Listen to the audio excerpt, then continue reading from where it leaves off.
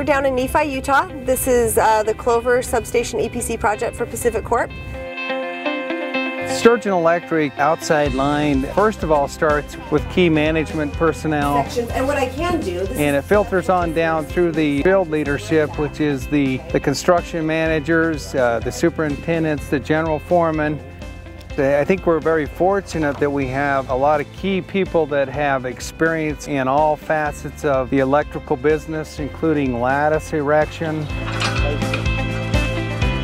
people that can go anywhere in the country and can help other districts or other major projects be successful.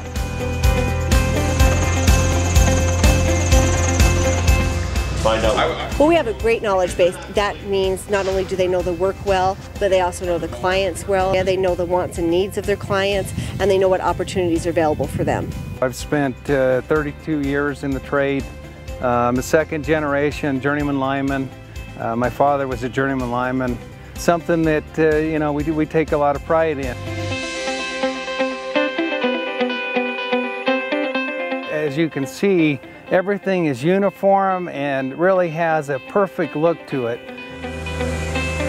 These guys are outperforming the schedule and as far as safety is concerned, you know, we're second to none. Now on top of that, I think we have probably the best fleet in the country. We have a huge advantage over some of the smaller competitors because they don't have the wherewithal to buy the larger fleet items that we do. Black and red.